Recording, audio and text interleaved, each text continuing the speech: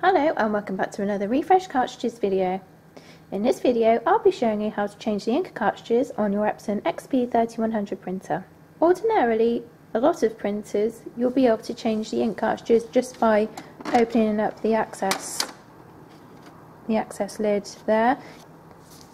Ordinarily after this the carriage would move over more to the middle so you can access the ink cartridges but with this particular series, you'll need to firstly go into the maintenance settings. So once on this menu, if this isn't what is displayed for you, uh, just to the left of this you have the home button. You can press this and it'll bring you straight back to this screen.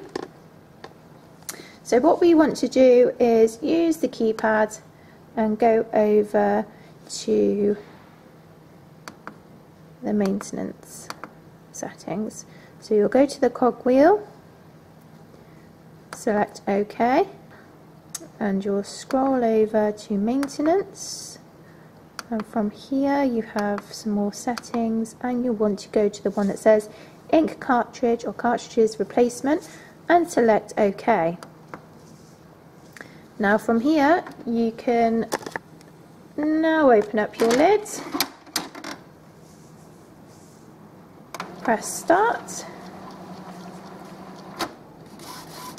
and this will start your carriage moving over to the place you need it to be. To remove these cartridges, I'll just zoom in on the back so you can see. There is just a clip in the back there and you'll want to gently pull this up. It might need a bit of a wiggle. These cartridges can be a bit a little bit stiff coming out and you can just remove the cartridge. You'll want to install a new cartridge. This may or may not have uh, a yellow tab, most of them do, sometimes they're orange. Uh, this is the same whether they're remanufactured or original cartridges. You'll then want to reinsert a new cartridge, pop that one back in and close the Once you've closed the lid, You'll need to press the start button and this will indicate it's checking the ink cartridges. When you're using compatible cartridges you may get a screen that says these are not genuine ink cartridges in which case you'll just have to press OK and it will overwrite that message.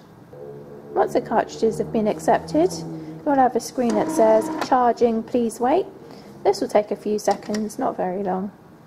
You'll then have a screen that says complete and then you can just press the home button and come completely off this screen and your printer is ready to use. I hope you found this video useful and thanks for watching.